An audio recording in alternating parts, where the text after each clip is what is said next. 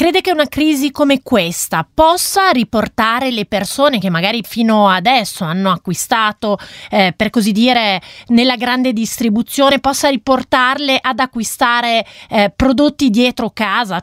Sicuramente l'avvento della grande distribuzione ha creato un grosso scombussolamento, soprattutto dal 2008 in poi. Adesso si sta comunque delineando molto la differenza tra quello che può essere una grande distribuzione e quello che può essere la classica vecchia bottega che appunto in linea di massima ti garantisce un po' più di qualità, un pochino più di tranquillità e anche di essere poi seguiti nel tempo e non abbandonati subito dopo l'acquisto. Quindi sì, spero che la gente in questo periodo insomma, stia un pochino riflettendo su, su, questo e che stia ritrovando anche un po' di attaccamento alla propria bandiera perché effettivamente di cose belle ne abbiamo tante eh, proprio intorno a casa e magari prima non riuscivamo ad apprezzarle. Adesso invece sì, vedo che tanti si stanno impegnando proprio per il bene anche della comunità, quindi spero che la gente di questo se ne ricordi. Noi diciamo che ne facciamo anche molto una questione di sostenibilità, nel senso che sicuramente il Made in Italy ha un eh, sinonimo anche di al di là della qualità, anche di durata, pertanto anche nel produrre un rifiuto molto più tardi rispetto a quello che può essere l'acquisto un po' più economico. Infatti economico spesso va, soprattutto nel nostro settore, di pari passo poi con la durevolezza. Una volta finito tutto questo, di cosa avremo bisogno per ripartire secondo lei? Quando sarà ora, quando usciremo appunto da questo periodaccio, sicuramente dovremo riboccarci le maniche, quindi avere un po' di inventiva perché sicuramente tutto il settore economico dovrà reinventarsi, dovrà trovare un modo di ripartire da, da zero, insomma questo è un pochino un reset. Del resto siamo emiliani, possiamo farcela. Non botta, sì sì assolutamente, Noi è la cosa che sappiamo fare meglio. Non sono preoccupato per l'Emilia perché insomma abbiamo gli attributi giusti.